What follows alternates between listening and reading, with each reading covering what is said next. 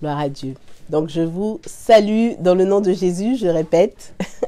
Vaut mieux trop que pas assez. Amen. Alléluia. Donc je bénis le Seigneur de pouvoir euh, encore euh, partager avec vous ce matin, ce, euh, vivre ce culte avec vous par la grâce de Dieu. Alléluia.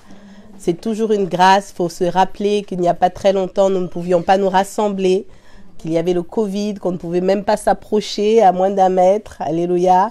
Aujourd'hui, le Seigneur nous a fait grâce, il y a des solutions. Nous pouvons de nouveau euh, nous voir parce que la communion fraternelle, c'est important. Alléluia. C'est un don de Dieu. Donc, je suis dans la joie j'espère que vous aussi, vous êtes dans la joie de me voir. Amen. gloire à Dieu. Gloire à Dieu. Alors, avant de commencer, je voudrais que nous l'avons déjà chanté, mais je voudrais qu'on chante encore et qu'on puisse dire au monde qui est le roi des rois, qui est le Seigneur des seigneurs. Alléluia. Parce que lorsque les hommes nous abandonnent, il y en a un qui ne nous abandonne pas, c'est l'éternel Dieu. Alléluia, au travers du roi de gloire qui s'appelle Jésus-Christ. Amen. Est-ce que vous pouvez chanter avec moi? Le roi des rois, c'est Jésus. Le roi des rois, c'est Jésus. Le roi des la manne cachée, c'est Jésus. Alléluia. La manne cachée, c'est Jésus.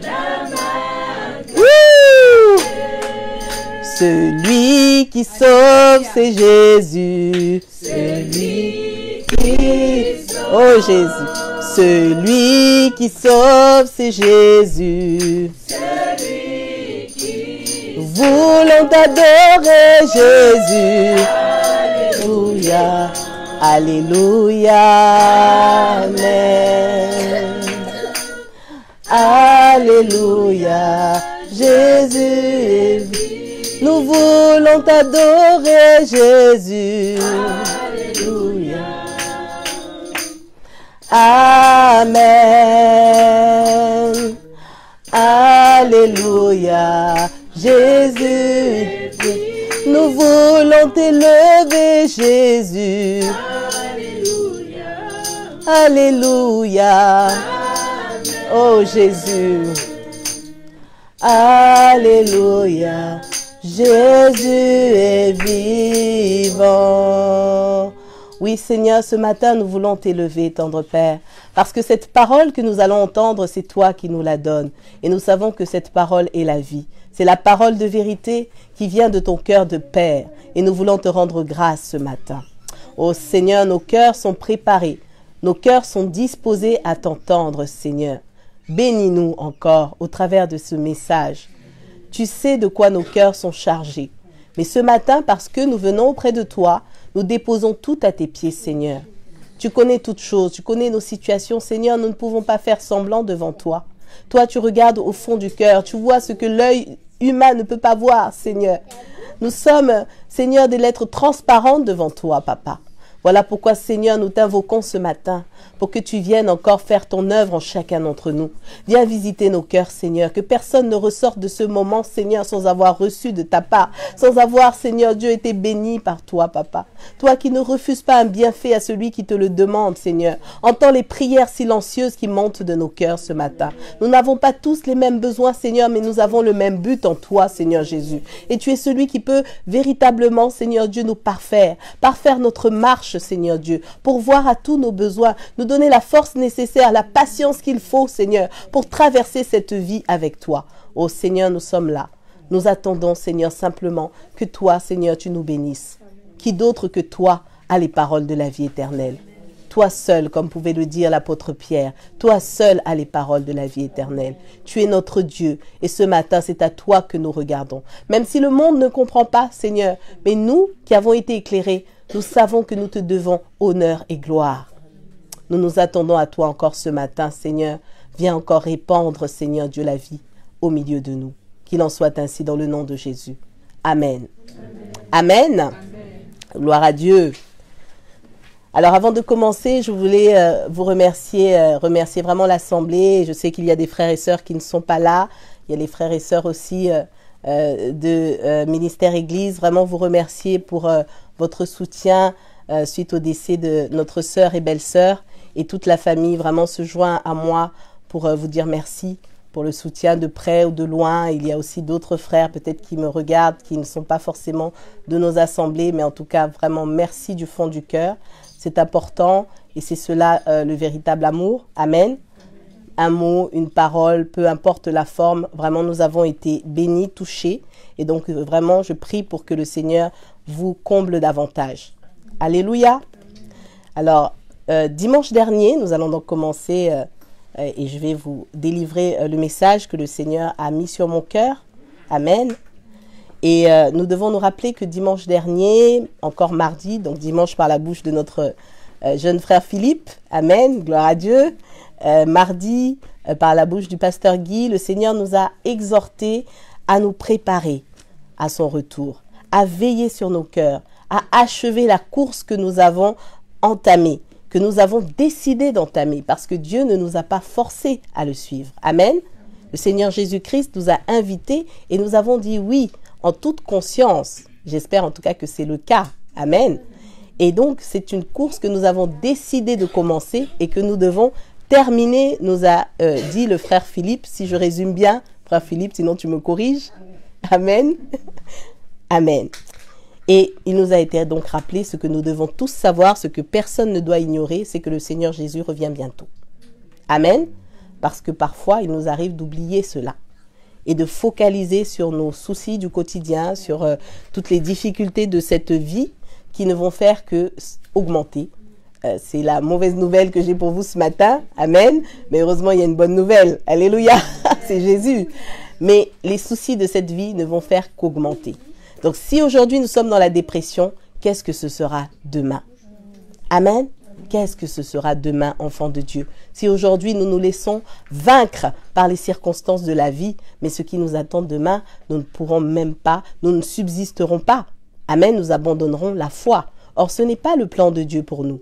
Et Dieu ne nous laisse pas sans capacité. Il ne nous laisse pas sans solution parce qu'il est là.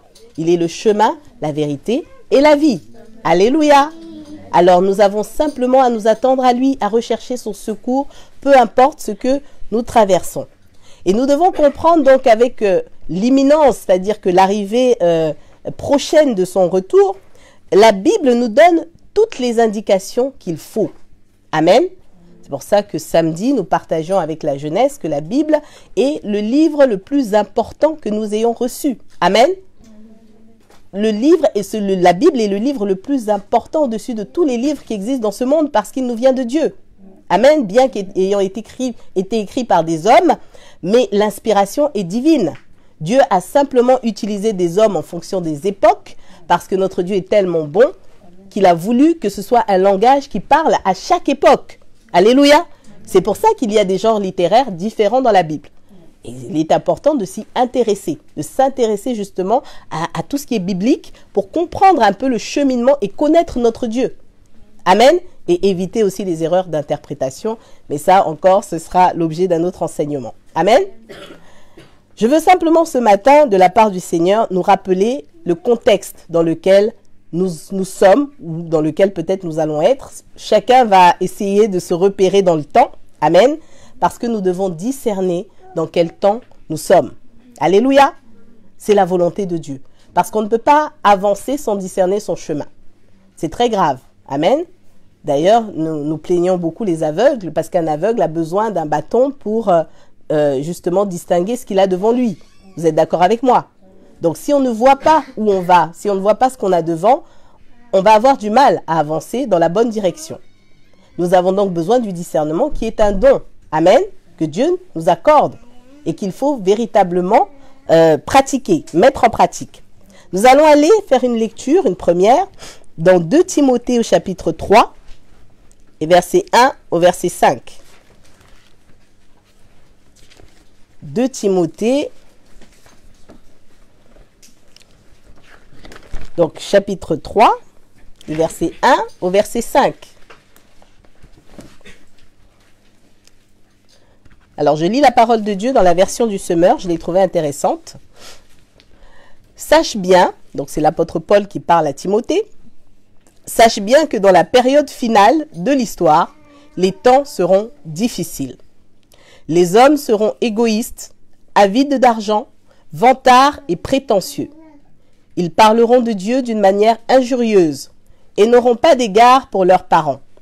Ils seront ingrats, dépourvus de respect pour ce qui est sacré, sans cœur, sans pitié, calomniateurs, incapables de se maîtriser, cruels, ennemis du bien, emportés par leur passion et enflés d'orgueil.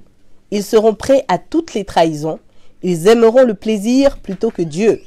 Certes, ils resteront attachés aux pratiques extérieures de la religion, mais en réalité, ils ne voudront rien savoir de ce qui en fait la force. Détourne-toi de ces gens-là. Amen. Alors voilà une description des temps de la fin.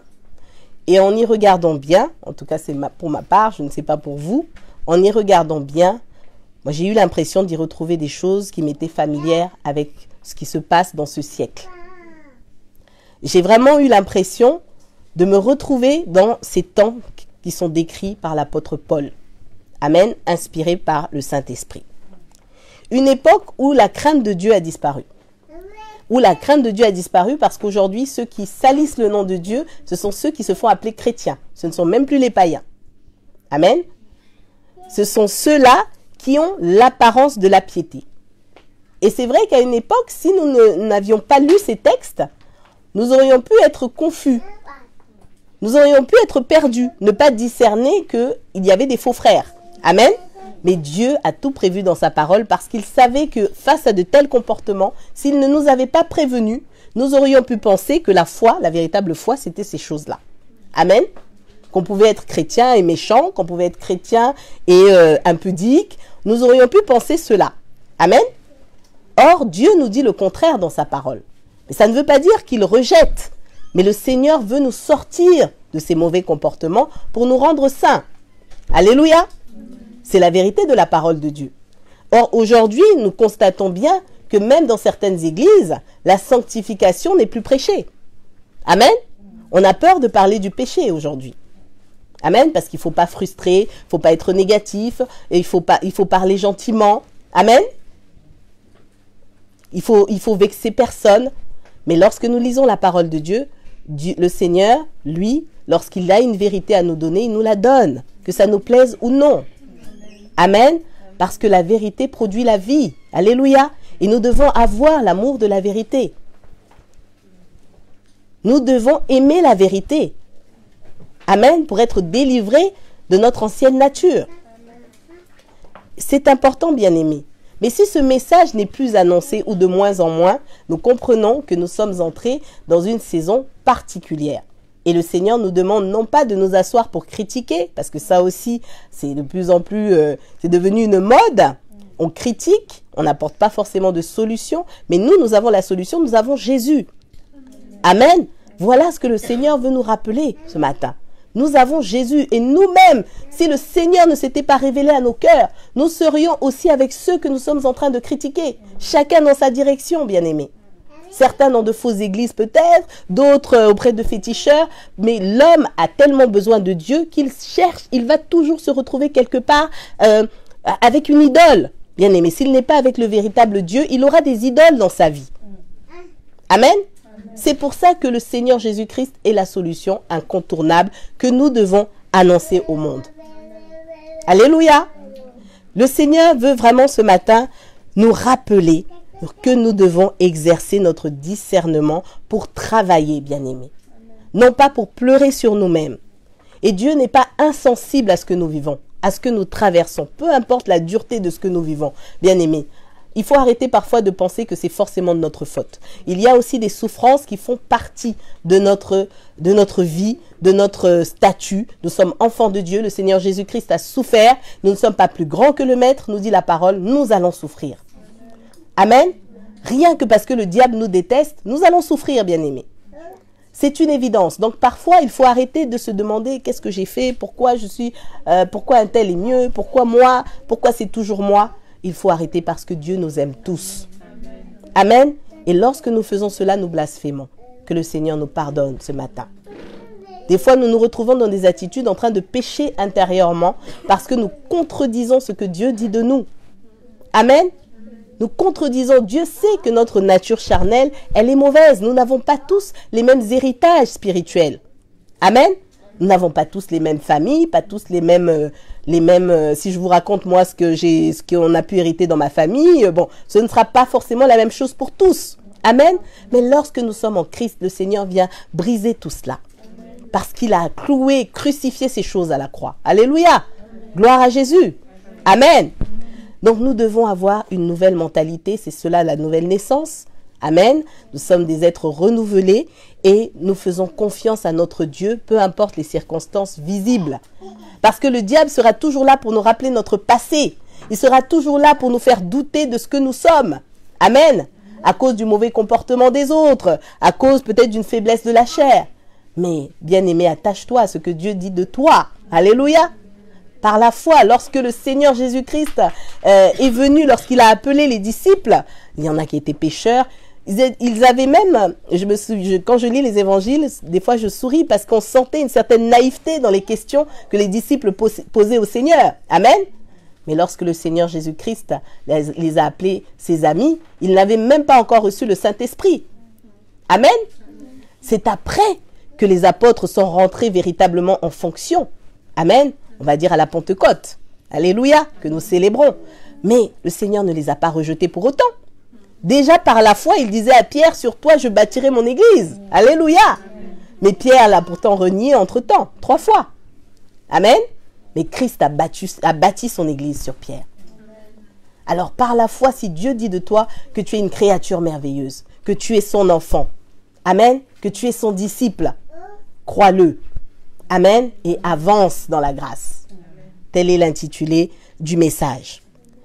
Nous devons exercer, je disais, notre discernement et nous allons aller voir ce que nous dit le Seigneur, ce que disait déjà le Seigneur aux, aux pharisiens dans Luc chapitre 12, des versets 54 à 56.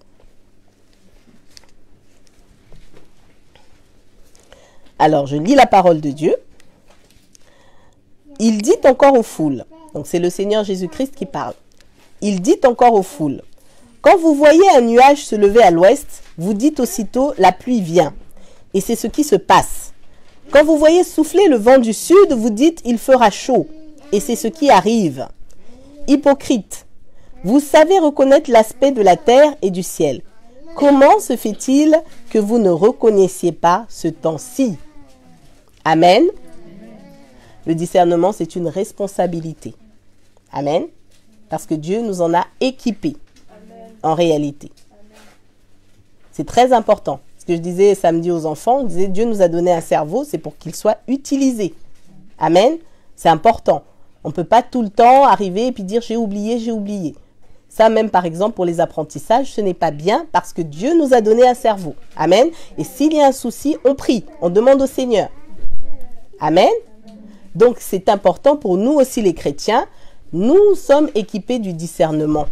Si on sent qu'on n'a pas l'impression de l'avoir, il faut aller prier, il faut prier Dieu, parce que le Seigneur nous équipe en toutes choses. Amen. Mais on ne pourra pas dire au Seigneur, je ne savais pas. On ne pourra pas avoir cette excuse. Alléluia, on ne pourra pas avoir cette excuse. Alors ce reproche que le Seigneur adresse aux pharisiens, c'est aussi le reproche que le Seigneur va nous adresser ce matin, parce que eux, ils sont passés à côté du temps de la grâce, et nous, nous entrons dans les temps de la fin, bien-aimés. Mais alors, nous ne devons pas continuer à nous comporter comme si nous étions dans le temps euh, où tout, euh, tout nous est acquis. Les temps de la fin ne seront pas les mêmes, amen, que ceux qui sont passés. Si nous lisons la parole de Dieu, nous allons comprendre que le discernement, il est important parce que les temps de la fin vont être très difficiles. Et je ne veux pas vous faire peur, mais le Seigneur veut que nous soyons préparés pour sortir de la distraction, sortir du sommeil, de l'assoupissement. Amen, dans lequel ne doit pas être plongé un enfant de Dieu. Et même si nous sommes plongés à un moment donné dans le sommeil, et ça me fait penser à la parabole des dix vierges qui dormaient toutes, mais sachant qu'il y avait cinq vierges qui étaient sages et qui ont pu se réveiller au moment où le Seigneur est arrivé, l'époux est arrivé. Amen. Tandis que les folles ne se sont pas réveillées. Ou alors elles se sont réveillées, mais il n'y avait pas d'huile. Amen, plutôt. Elles n'étaient pas prêtes. Amen. Donc quand on va se coucher, même nous en tant que maman, par exemple moi en tant que maman, quand je vais me coucher, je m'assure que tout soit prêt pour le lendemain. Ça, c'est la responsabilité. Mais nous, nous sommes enfants de Dieu. Nous devons donc être encore plus responsables. Et si je dois à un moment donné tomber dans le sommeil, parce qu'il y aura des moments assez difficiles pour tous, il y aura des moments de faiblesse, de fragilité, mais il faudra que je sois quand même prête, que le Saint-Esprit puisse venir faire ce qu'il a à faire en moi et qu'il n'y ait pas de faille trop grande. Amen. Je ne sais pas si vous me comprenez. Ça, c'est quand on entretient sa vie de foi. Amen. Donc nous sommes appelés véritablement à persévérer. Et nous allons avoir besoin de persévérer davantage dans des temps qui s'annoncent difficiles. Il faudra que nous soyons forts, que nous soyons remplis du Saint-Esprit, bien-aimés. Parce qu'on va devoir affronter des choses parfois difficiles. Vous savez, moi qui sors par exemple d'une période de deuil, enfin je suis encore dans, ce deuil, quand on annonce la mort d'un très proche, comme euh, Michel a connu, ou beaucoup d'entre vous, mais c'est compliqué. Quand c'est quelqu'un d'autre, on peut prendre un peu de distance. Mais quand on est directement touché, maman Chantal, hein, qui sait, c'est dur. Amen. C'est violent. Et à ce moment-là, on est chrétien, mais il y a des fragilités. Amen. Donc, si le Seigneur nous dit qu'il va y avoir des moments difficiles, ne pensons pas que nous allons euh, jouer les super-héros. Amen. On ne pourra pas jouer les super-héros. Nous voyons déjà même aujourd'hui que résister à la tentation, c'est difficile. Il y a beaucoup de serviteurs de Dieu qui ont des vies cachées. Pas parce qu'ils le veulent, mais parce que c'est très très difficile de résister. Sans le Saint, sans l'aide du Saint-Esprit, sans une véritable discipline spirituelle, sans une véritable consécration. Amen.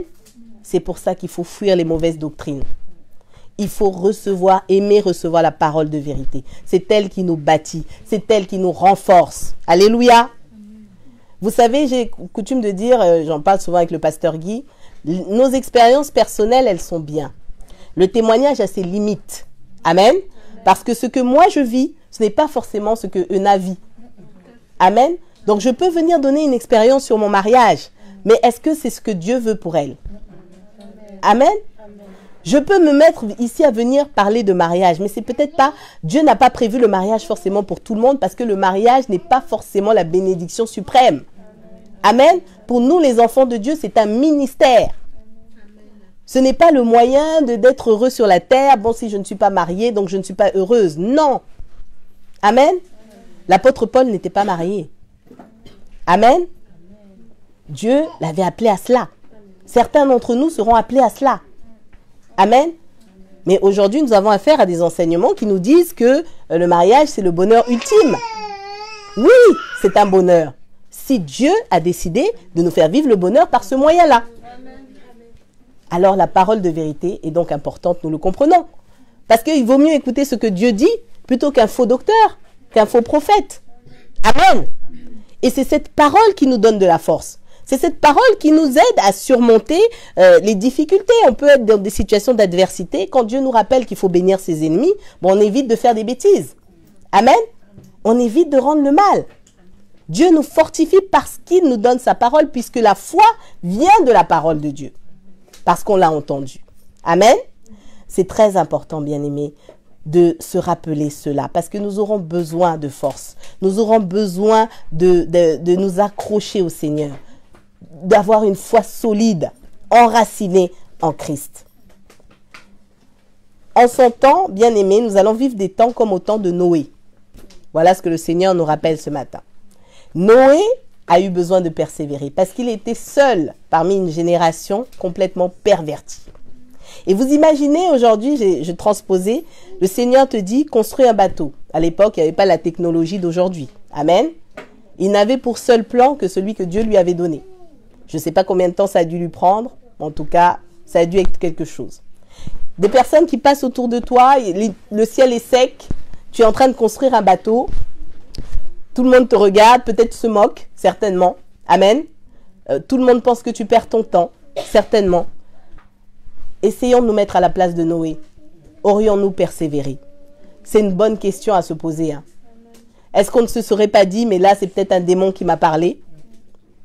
Amen. C'est pas logique. Mais je vais construire un bateau là, il fait, peut-être 40 degrés. Euh. Amen. Noé a persévéré face à l'incompréhension générale. Il a pris position, il a servi son Dieu contre toute logique. Amen. Contre toute logique humaine. En dépit des moqueries, en dépit peut-être de la difficulté, parce que ça devait être physique. Amen. Il n'a pas dû avoir beaucoup d'aide pour construire ce bateau. Mais il a eu l'aide la plus importante, celle de Dieu. Alléluia. Et il a persévéré. Alors nous aussi, bien-aimés, nous sommes peut-être déjà comme Noé parce que, en tant que chrétiens, nous ne sommes pas pris au sérieux. Amen. Dans ce monde, nous ne sommes pas pris au sérieux. Moi, je rigole souvent quand euh, parfois des chrétiens viennent déçus. Ah, voilà, tel pasteur, ah, voilà, ça s'est terminé comme ça. Je rigole souvent, pas méchamment, mais parce qu'en fait, euh, la chair, elle aime bien suivre ce genre de choses. Par la chair, on aime bien aller écouter euh, des, des, personnes qui crient très fort, qui font tomber les gens, voilà. Toutes sortes de je ne sais pas comment appeler ça, mais de légendes, d'histoires extraordinaires, on aime bien. Et lorsque nous nous arrivons avec une parole simple, Amen, une parole simple, mais une parole vraie, mais on est souvent euh, méprisé, Amen, on ne nous écoute pas beaucoup, ou alors on fait semblant par politesse, et la personne s'en va, et nous, nous sommes en souffrance. Amen. Nous sommes en souffrance parce que nous savons que la personne ne reçoit pas et qu'elle va continuer à souffrir, qu'elle va continuer à avancer dans le mauvais chemin. Amen. Et ça se termine bien souvent de cette manière-là. Et nous ne sommes pas pris au sérieux. On nous trouve ennuyants. On nous trouve dépassés. Amen. Mais ce qu'il faut savoir, il ne faut pas se décourager à cause de cela. Parce que ce monde souffre. Malgré sa richesse, malgré euh, toute sa science, ce monde est en souffrance. Et les gens tentent d'oublier leur souffrance, bien aimés, par toutes sortes de distractions. En faisant la fête, au travers des loisirs. Aujourd'hui, il y a Internet, donc l'addiction bat son plein avec ces choses-là. Euh, le monde essaie de cacher sa souffrance dans ces choses-là. Dans les addictions, en faisant la fête, dans la méchanceté même. Des personnes qui sont méchantes simplement parce qu'elles souffrent. Amen. Et si nous, nous sommes enfants de Dieu, nous ne discernons pas cela, nous allons aussi faire des, dégâts. Amen. Parce que nous allons rejeter les gens. Nous allons nous venger. Nous allons faire du mal. Amen. À des personnes qui sont méchantes simplement parce qu'elles souffrent, en fait, intérieurement et qu'elles ont besoin de Christ. Mais qui peut leur présenter Christ? C'est nous. Amen? Il faut du discernement aujourd'hui, véritablement pour servir le Seigneur. Parce que nous sommes tellement entourés de mal des ténèbres qu'il faut beaucoup de discernement. Amen? Pour ne pas tomber dans l'orgueil, ne pas tomber dans le mépris et ne pas faire l'œuvre de Dieu au final. Et donc, la bonne nouvelle pour le monde, c'est que Jésus est venu pour combler ce vide que chacun a dans son cœur. Jésus est venu combler ce vide. Et même si toi aujourd'hui tu viens à l'église et que tu continues à ressentir ce vide, mais Jésus comble ce vide. Il est le chemin, la vérité, la vie. Il t'apporte tout ce dont tu as besoin à condition que simplement tu acceptes. Amen. Tu acceptes de lâcher prise et de t'attendre à lui, tout simplement. Tu as bataillé par tes propres forces. On t'a peut-être donné des enseignements où on t'a dit il faut que tu pries euh, dix fois par jour. Amen. Il faut que tu fasses ci, il faut que tu brûles une bougie. Ça n'a pas fonctionné. Aujourd'hui, accepte simplement de plier les genoux devant le Seigneur Jésus-Christ et de lui dire je m'attends à toi. Amen. Une prière toute simple. Seigneur, je n'y arrive pas. Je reconnais que toi, tu peux tout. Je m'attends à toi. Et je te mets au défi de voir si Dieu ne te répond pas. Amen. Élie l'a fait hein, avec les prophètes de Baal. Amen. C'est ça la foi. Ça, c'est la foi. Et Dieu ne partage sa gloire avec personne. Bien aimé. Dieu ne partage sa gloire avec personne. Nous pouvons véritablement nous attendre à lui. Alors, dans ces temps où le mal est appelé bien, vraiment, je nous exhorte, je me répète peut-être, mais c'est important, le Seigneur veut que ce soit ainsi, nous ne devons pas nous décourager. Parce que Dieu nous a prévenu que ce serait ainsi. Nous ne devons pas nous décourager, nous ne devons pas nous scandaliser, c'est normal. Nous entrons dans les temps de la fin. Et c'est vrai, notre bonne disposition va passer pour de la faiblesse aux yeux du monde. Amen. Je ne vais pas euh, dans telle soirée. Ah, mais lui, il est nul. Amen. Quelqu'un vient chez toi, te fait du mal. Ah ben regardez, ha ha ha, je suis allé chez lui, je lui ai fait du mal. Amen. Tu ne répondras pas, on dira, ah mais il est bête celui-là, elle est bête celle-là. Amen. Aux yeux du monde, ça paraît insensé. Mais pour nous, bien-aimés, c'est une véritable bénédiction. Oui, notre obéissance à Dieu, notre attachement à sa parole va nous valoir du mépris de plus en plus, des moqueries. Amen. Même entre chrétiens, quand on ne pratique pas certaines choses, on se moque. Mais ça a été vraiment euh, magnifique l'épisode du vaccin. Je crois que ça s'est calmé. Amen. Ça a été mes révélateurs justement de ce que je suis en train de vous partager. Amen. Et il y aura d'autres épisodes comme ça. Ce n'était que le début. Hein. Il y aura des choses beaucoup plus graves où l'Église va véritablement se déchirer. Mais l'Église visible, hein, pas la véritable. Amen il nous faut du discernement, nous dit le Seigneur. Et il nous faut continuer à avancer. Il ne faut pas se laisser interrompre dans sa marche. Par des choses qui peut-être aux yeux des hommes paraissent glorieuses, paraissent belles, mais qui ne sauvent pas. Voilà ce que nous dit le Seigneur. Et Proverbe 12 au verset 2 nous rappelle ceci. L'homme ou la femme de, bien obtient la faveur de l'Éternel, mais l'Éternel condamne celui qui est plein de malice. Amen quelle que soit la prospérité de ceux qui font le mal, moi je prends le parti de me taire. Amen. Ce n'est pas grave. Je te bénis dans mes prières. Et je vous exhorte à faire de même. Amen, parce que c'est le Seigneur qui se charge du sort de ceux qui font ces choses-là. Nous n'avons même pas besoin à souhaiter leur malheur. Bien au contraire, il faut souhaiter leur, délivrance. Parce que eux-mêmes viendront témoigner de ce qu'ils ont fait. Amen. C'est très important de revenir à ces fondamentaux qui font de nous de véritables chrétiens dans ces temps difficiles. Parce que le Seigneur va délivrer beaucoup de vies grâce à notre bon témoignage. Vous savez, quand quelqu'un meurt, hein, moi été beaucoup enseigné, quand quelqu'un meurt, la première question qu'on se demande, c'est où est-ce qu'elle est partie?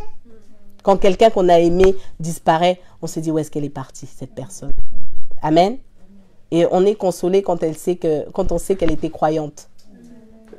Ou quand on nous dit, euh, là comme pour ma belle-sœur, elle priait, elle était tout le temps avec des pasteurs, elle priait. Il y a un soulagement hein, pour nous qui sommes chrétiens. Vraiment, c'est... Amen? Alors ayons de la compassion pour ceux qui sont autour de nous. Parce que être le plus fort, ça n'apporte absolument rien. Mais l'éternité, l'éternité est plus importante que ce que nous vivons aujourd'hui, bien-aimés. À qui vaut-il mieux plaire? C'est la question que le Seigneur nous pose encore. À Dieu ou aux hommes?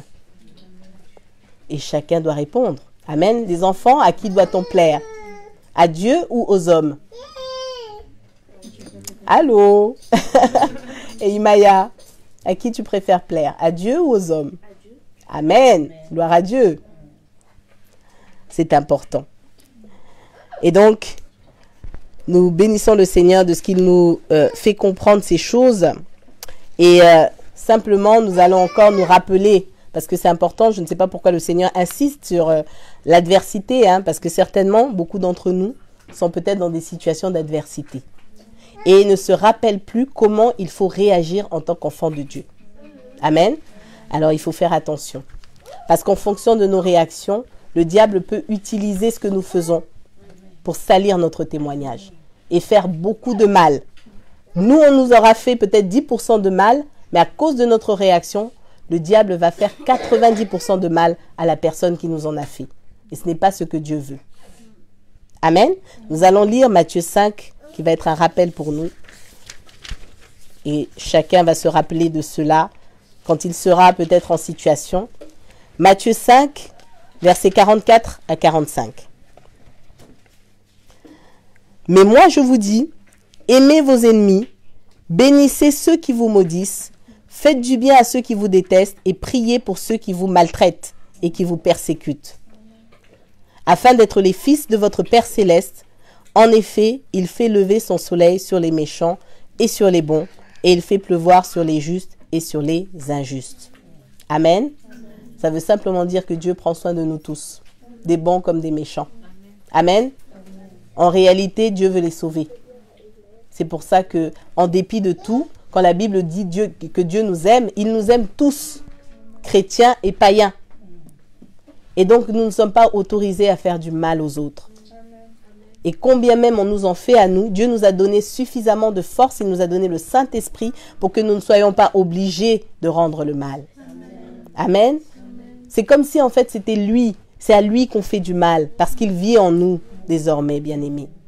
Et nous voyons bien que même lorsqu'on l'a mené à la croix, qu'on l'a fouetté, qu'on lui a fait du mal, il n'a pas rendu les coups.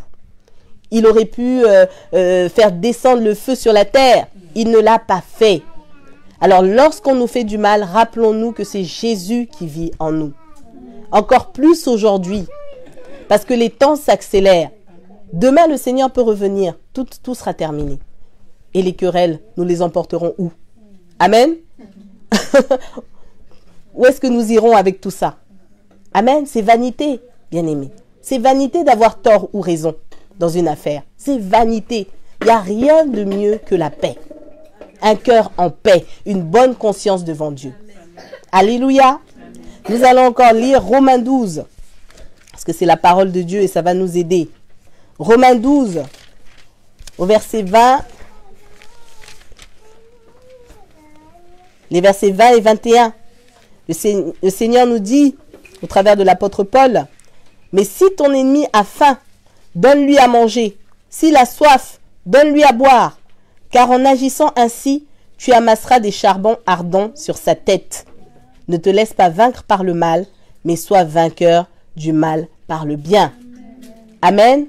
Nous sommes dans une époque où nous devons vaincre le mal par le bien. Voilà les temps dans lesquels nous sommes. Amen. Et donc tout ce que nous faisons, bien aimé, tant que nous faisons le bien, le mal ne peut pas nous vaincre. Voilà ce que nous dit la parole de Dieu. Amen. Tant que nous faisons le bien que Dieu nous demande de faire, le mal ne pourra pas nous vaincre. Peu importe l'ampleur de ton problème, peu importe l'ampleur du scandale dans lequel tu es, Amen, ou autre, en tant qu'enfant de Dieu, tu as ta part dans la victoire de Christ. Tu as ta part dans la victoire de Christ. Invoque le nom de Jésus dans tes situations.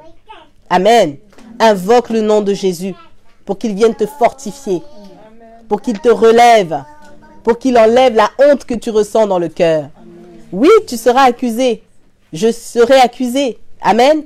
À tort. Ou même à raison. Hein, nous ne sommes pas parfaits. Il peut nous arriver de commettre une erreur. Pour un enfant de Dieu, ça prend toujours des proportions démesurées. Amen. Toujours des proportions démesurées. C'est pour ça qu'il ne faut pas rentrer dans les polémiques, peu importe ce qu'a fait un chrétien. Il ne faut pas rentrer dans ces polémiques-là. Amen. Parce que Dieu nous fait miséricorde. Pendant que le monde va continuer à s'attarder sur le passé, Dieu, lui, il nous donne un avenir nouveau. Alléluia, gloire à Dieu. Lui, il est capable de cela. Donc c'est important simplement de nous dire que nous avons part à la victoire de Christ. Et c'est en pratiquant le bien. Amen. Je n'y suis pas arrivé hier. Aujourd'hui, je me relève et j'avance avec Jésus. Que le Seigneur nous rende capables de cela. Pas besoin de nous rabaisser au niveau de ceux qui usent de la méchanceté. Notre Seigneur est le Dieu très haut, n'est-ce pas? Nous devons être dans la hauteur, dans les hauteurs avec Jésus. Amen. Nous laissons le mal en bas. Celui qui veut s'amuser à la méchanceté, on le laisse en bas. Nous, nous allons dans les hauteurs. Amen. Ça nous remplit de sagesse. Nous ne sommes pas obligés de regarder tout le temps en bas dans la boue, la boue du péché d'où le Seigneur nous a tirés. Parfois, on a envie de repartir jouer dedans parce qu'il y en a un autre qui nous a éclaboussé. Non, bien aimé. Amen. Ce n'est pas grave parce que le sang de Jésus nous lave de toute, euh, souillure. Amen. Quelqu'un peut salir ton témoignage, bien aimé. C'est Dieu qui justifie. Avance. Alléluia. Avance. Les gens ne comprendront pas. Pourquoi lui? Pourquoi si? Avance parce que le Seigneur connaît toutes choses. Que ton oui soit oui, que ton non soit non. Ne nous laissons pas embarquer dans des polémiques, dans des débats. Amen.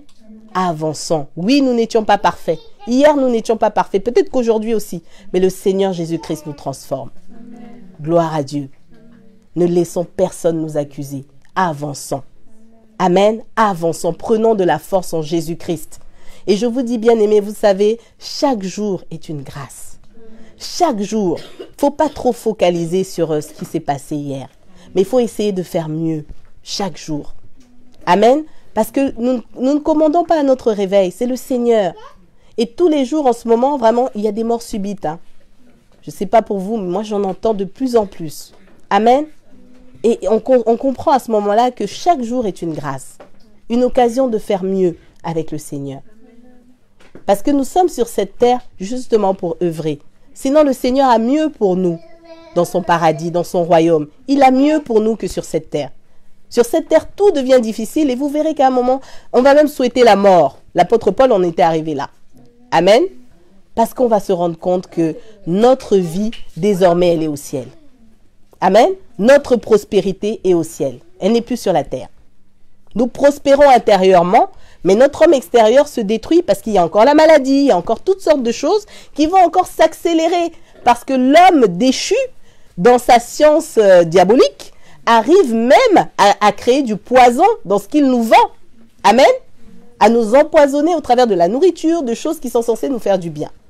Nous comprenons donc qu'il n'y a rien de bon dans ce, dans ce monde. Amen. Nous devons donc, bien aimer, persévérer dans ce que le Seigneur nous demande de faire. Lui, nous ne savons pas tout, mais lui, il sait ce qu'il a prévu pour nous de bon, de meilleur. Amen. Faisons-lui confiance. Les soucis de cette vie, les richesses terrestres sont des choses qui passeront. Amen. L'éternité euh, a plus de durée que le nombre d'années de nos vies.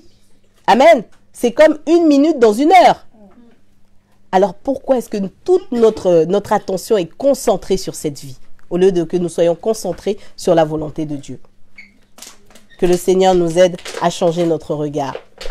J'avais, euh, le Seigneur me donnait euh, encore cet exemple euh, par rapport au roi David, parce que dans la Bible nous avons beaucoup d'exemples, Amen, pour nous aider à persévérer. Le roi David, roi et consacré très très tôt dans sa jeunesse, a été persécuté, bien aimé, pendant une bonne période de sa vie. Alors que très jeune, on est venu, le, prophète Samuel l'a oint, euh, il n'est pas entré en royauté tout de suite, mais il a vécu des moments difficiles, une persécution terrible. Amen. Obligé de fuir. À un moment, euh, je crois que vous le lirez, il a dû même se déguiser en fou. Amen. Pour échapper à la mort. Et par qui il a été persécuté, bien aimé? Il n'a pas été persécuté par un étranger. hein. Il a été persécuté par quelqu'un qui l'aimait beaucoup. Par quelqu'un avec qui il avait travaillé, qu'il avait pris plaisir à servir. Et celui-là est devenu son persécuteur. Mais ça, c'est une blessure terrible. Amen. Terrible. Mais jamais David n'a cédé à la volonté de faire du mal. Parce qu'il était tellement attaché à Dieu. L'homme selon le cœur de Dieu. Amen. Pas des qualités exceptionnelles. hein. Parfois, on pourrait penser qu'il faut être le grand prophète, le grand bishop, faire tomber des gens pour être l'homme selon le cœur de Dieu. Pas du tout. Amen. Quand on regarde le témoignage de David, on voit à quel point il a brillé par l'humilité. Amen. Et par la bonté, par la compassion. Quand Saül est mort, comment David a pleuré, bien aimé. Il aimait les autres et il aimait Dieu. Voilà les qualités de David. Et il n'a pas cédé à l'envie de tenir des propos déplacés. Je relisais, je relisais, je dis, ah, mais c'est vrai. Il n'a pas tenu de propos déplacés, il n'a pas tenté d'action contre le roi Saül. Combien même il le poursuivait, combien même des fois il a été en situation de, d'en finir avec sa vie, il ne l'a jamais fait. Amen. Et mais quand Saül est mort, David a pleuré chaudement sur la mort de celui qui lui en voulait sans raison à cause d'une jalousie maladive. Alors certes, ça a duré longtemps. Certes, il a connu l'exil, l'abandon, le rejet, mais son cœur était en paix avec le Seigneur, avec celui qu'il aimait par-dessus tout. Amen. Parce qu'il n'avait jamais cédé au mal. En tout cas par rapport à Saül. Il n'était pas parfait. Amen. Mais il avait cette qualité de cœur que Dieu veut que nous ayons tous. Qui fait de nous ses enfants parce que ça, c'est la nature de Dieu. Amen. Et c'est ça que nous devons enseigner à nos plus jeunes. Nous devons être dans la volonté de Dieu. Et en ce qui nous concerne, nous avons une mission aussi, en dehors d'être des enfants de Dieu, c'est de faire des disciples. Amen. Donc nous sommes là pour œuvrer, non pas pour nous préoccuper de nos égaux, non pas pour euh, regarder à euh, si je m'enrichis ou non, mais nous sommes là pour travailler pour le Seigneur. Amen. Lorsque quelqu'un a faim, qu'on peut lui ouvrir notre maison pour lui donner un plat, mais nous avons servi Dieu. Amen. nous devons aussi sortir de ce raisonnement où on pense que c'est simplement dans l'église bâtiment qu'on sert le Seigneur.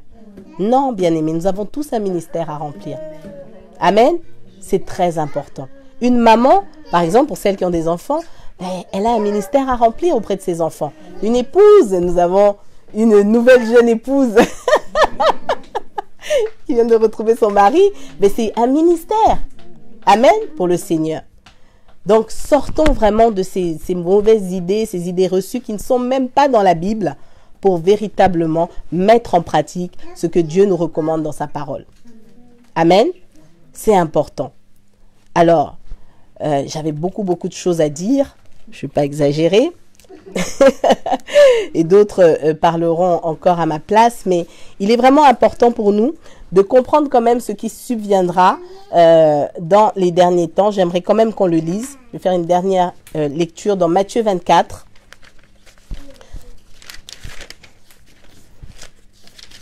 Matthieu 24, on va le lire ensemble, comme ça si on ne l'avait jamais lu, au moins on le sait.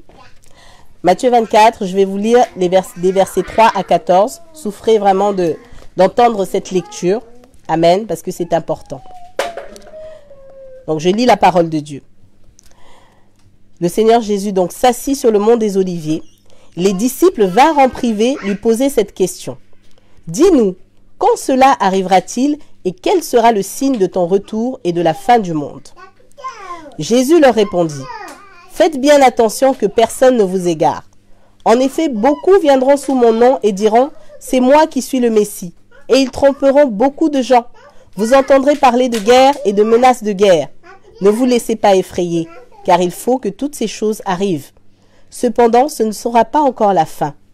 Une nation se dressera contre une nation, et un royaume contre un royaume. Et il y aura en divers endroits des famines, des pestes et des tremblements de terre. Tout cela sera le commencement des douleurs. Alors on vous livrera à la persécution et l'on vous fera mourir. Vous serez détestés de toutes les nations à cause de mon nom. Est-ce que vous entendez bien le verset 9 Vous entendez bien le verset 9 Amen. Beaucoup trébucheront alors. Beaucoup trébucheront alors.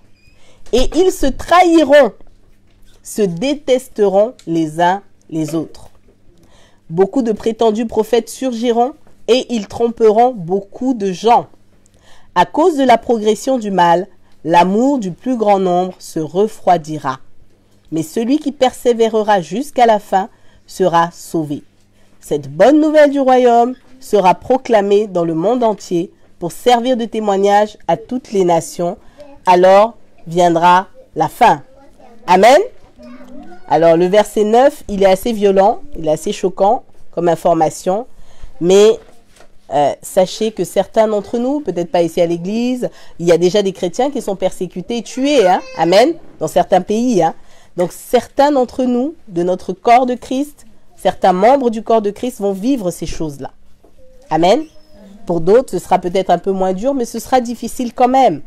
Et la bonne nouvelle, mais Dieu a prévu que la bonne nouvelle va continuer à se propager. Parce qu'en réalité, nous sommes sur terre pour ça. Amen. C'est pour parler de Jésus. C'est pour annoncer Jésus-Christ au monde. Donc remplissons notre mission, quoi que nous avons à vivre ici. Amen. Le Seigneur sera là pour nous aider. Au temps où a vécu l'apôtre Paul, il y avait euh, ce qu'on appelait, euh, euh, on jetait les, les chrétiens dans des arènes, là où il y avait des lions. Amen. Mais ils ont continué à mener le combat. Et même ceux-là qui ont été jetés dans, dans, les gueules de lions, eh bien, sont auprès du Seigneur. Amen. La mort n'est pas une limite pour nous, n'est pas une fin pour nous. Et c'est important de le croire et de le comprendre pour ne pas trébucher. Parce que là, c'est écrit, nombreux vont trébucher. Amen. Vont renier la foi dans d'autres passages. Alors, il est important pour nous de travailler. Plus nous allons travailler, plus la, bonne nouvelle va se répandre, plus la fin va venir tôt, et puis nous n'aurons peut-être plus à, souffrir. Amen. Tout sera abrégé, nous serons auprès du Seigneur. Mais en tout cas, sachant que notre objectif sur la terre n'est pas euh, de vivre les joies de cette terre, si Dieu nous fait grâce, Amen, gloire à Dieu, c'est dans sa souveraineté, mais notre objectif, c'est d'annoncer Jésus-Christ au monde. Alors, rappelons-nous de ce que la sœur Aldélie nous avait annoncé de la part du Seigneur. Il faut sortir du, des querelles des, des dénominations. Amen. Nous sommes l'église de Christ. Hein? Chacun dans son couloir, une manière d'agir, mais nous sommes l'église de Christ. Il faut sortir de, de ces choses. Il faut sortir des guerres d'ego. Moi, je suis euh, un tel, moi, je suis le grand un tel, la grande un tel. Il faut sortir de toutes ces choses-là et il faut faire la volonté de Dieu, tout simplement. Nous vivons, moi, j'ai coutume de dire, nous venons à l'église une fois par semaine, mais les, les six jours qui restent, nous ne les passons pas à l'église. Amen. Nous les vivons chez nous. Amen. Certains au travail, d'autres en famille. Donc la plupart du temps, nous sommes à l'extérieur. Amen. Donc si on ne vit sa foi chrétienne qu'à l'église ou que les jours d'église, il y a un petit souci. Alors, faisons la volonté de Dieu pour être prêts pour le retour du Seigneur. C'est ce que j'ai noté en, conclusion. Et euh, comme le Seigneur Jésus, avant qu'il aille à Golgotha, il s'est préparé. Il s'est préparé, il a travaillé, n'est-ce pas, Kelaya Amen. Gloire à Dieu. il a travaillé, il a fait du bien autour de lui, il a guéri les malades, il a chassé les démons, il a enseigné. C'est notre divin modèle. C'est notre divin modèle. Amen. On reçoit une amie à la maison, mais moi je parle pas chiffon. Amen. On parle pas chiffon. Parfois on a des gens qui se plaignent de ce qui se passe dans leur vie, mais nous avons la parole de vérité. Amen. On peut passer un peu de temps dans la prière peut s'exhorter, s'encourager, s'inviter à l'église. Amen. S'inviter. Et puis, il euh, n'y a pas que notre église. Il hein. faut aussi répondre parfois aux invitations des autres, avec le discernement, bien sûr. Amen. Parce que nous sommes le corps de Christ. Mais ayons cette vie de foi. Amen. Au lieu d'être dans les compromis avec ceux qui vivent n'importe comment. C'est important, bien aimé. Alors, je nous exhorte pour finir au réveil à la persévérance dans la foi véritable, Amen, conduit par le Saint-Esprit, qui saura tous nous édifier, parce que nous avons tous une Bible. Amen. Moi, je ne viens pas parler parce que je sais tout. Amen. C'est parce que j'ai pris un peu de temps pour euh, travailler. Amen. Réfléchir comme chacun d'entre vous le fait euh, seul avec le Seigneur. Persévérons dans l'amour fraternel. Hein. Ça, c'est très, très important. Amen. Euh, c'est une pensée que le Seigneur me mettait là sur la conclusion, parce que l'amour fraternel, ce n'est pas l'affinité. C'est important. Euh, Christ a fait de nous une famille, peu importe le pays où nous sommes, peu importe notre culture. Amen. Et moi, souvent, il m'arrive de rencontrer, par exemple, des fois quelqu'un. Il est, dès que je sais qu'il est chrétien, mais il y a comme une connexion qui s'établit. Amen? Et, et, parfois, on se connaît que depuis un mois, on a l'impression de se connaître depuis dix ans. N'est-ce pas? Je pense que ça vous le fait aussi. Amen. Parce que par le Saint-Esprit, le Seigneur a fait de nous une famille.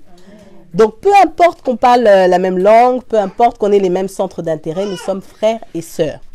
Il faut toujours avoir à cœur chacun de ses frères et sœurs. Amen? C'est très important. La paix, l'amour fraternel, que chacun d'entre nous continue à vraiment avancer dans cette atmosphère de grâce. Amen. Parce que tout cela, c'est un don de Dieu. Ça ne vient pas de nous.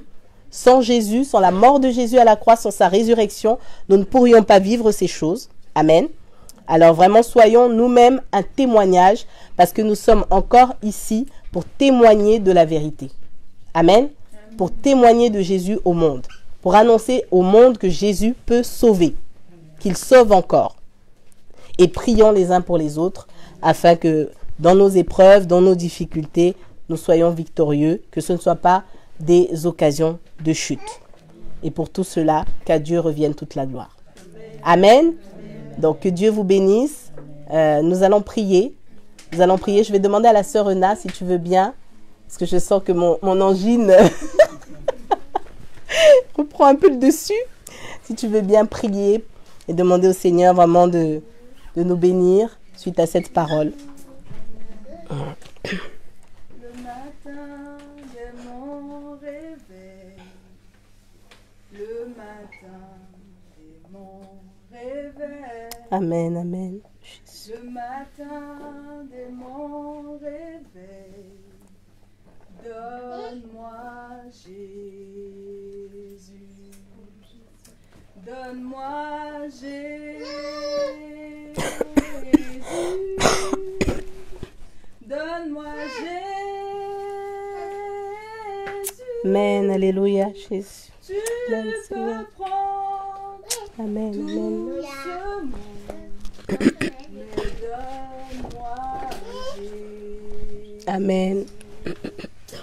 Seigneur Jésus, tout a été créé par toi, pour toi, uniquement pour toi. Tu es à la base de toutes choses. Tu es à la base de notre vie, Seigneur. Sans toi, nous ne sommes rien. Sans toi, nous reconnaissons que nous ne pouvons pas persévérer.